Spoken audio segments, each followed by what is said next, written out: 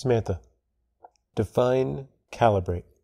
Calibrate means to measure against a standard, to check an instrument to see if it is accurate, to adjust precisely for a particular function, to set an instrument so that readings taken from it are absolute rather than relative. Hmm. I don't get it.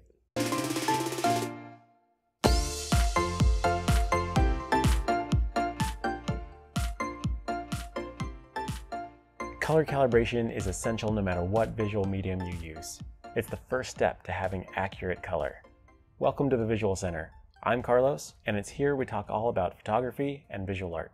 On top of being a photographer myself, I've been working in the printing industry for more than a decade.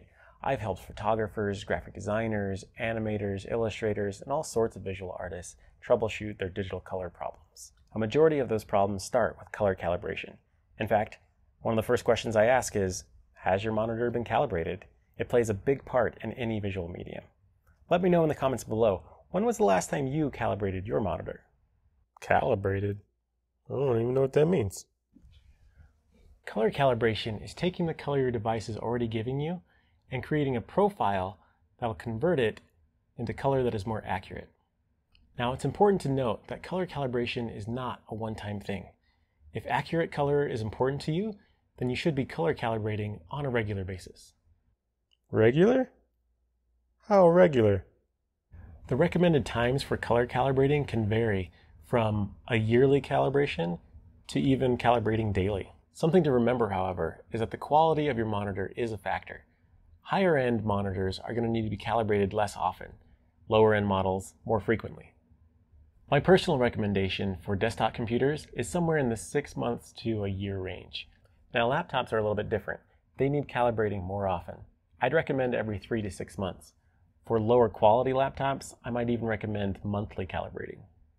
Huh. I wonder if this phone is calibrated. Color calibration is not just for computer monitors. Most devices you use with digital color can and should be color calibrated. Well, that would explain your skin tone.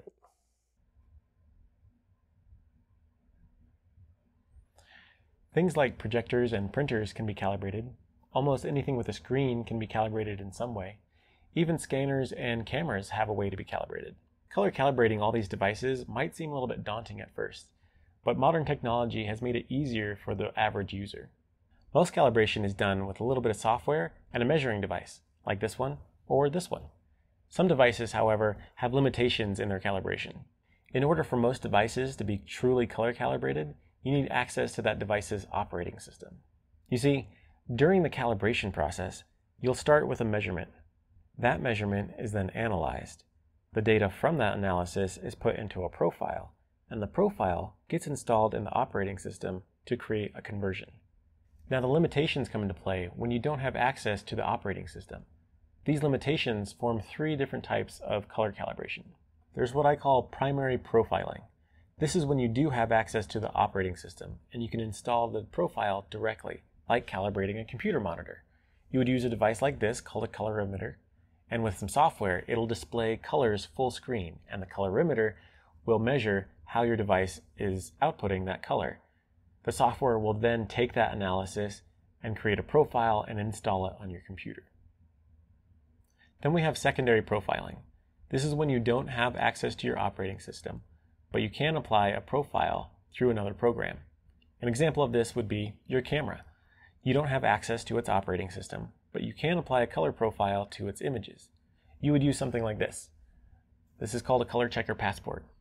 During your photo shoot, you would take a picture of this, and then in your post-production, in your photo editing software like Photoshop or Lightroom, you would use this image and the software to create a color profile and apply that to all your images.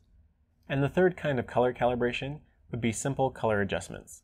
This is when you don't have access to the operating system and you can't really apply a profile. All you can do is change some settings. An example of this would be your TV screen. I'll put some links to these. Hey, what what are you doing?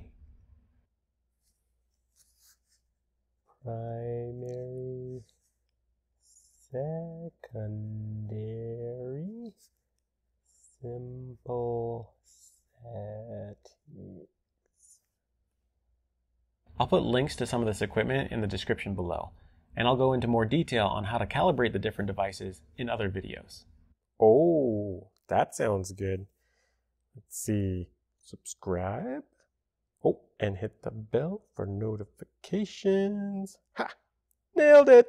Any questions you have on calibration, don't hesitate to leave in the comments below. If you found this video helpful, give it a like, share it with a friend, and we'll see you in the next video.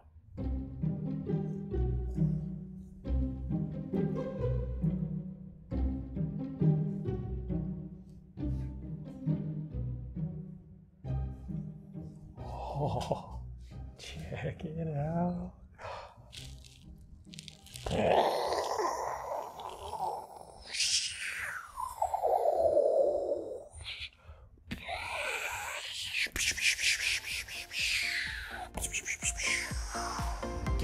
What are you doing?